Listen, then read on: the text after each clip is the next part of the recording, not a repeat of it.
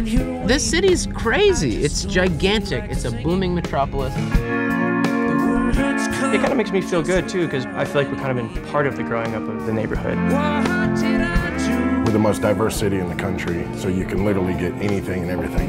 And showed me how life could be when you're here. I think Houstonites are the funnest people in the world. Everything is bigger and crazier here. We're making a beer for Houston. So we made you an Imperial Dunkelweiss that we're gonna age in Jameson barrels. This beer to me represents all of the things that I think Texas Piano Man as a character is. And I'm just really proud that all of these people could come together to see this vision.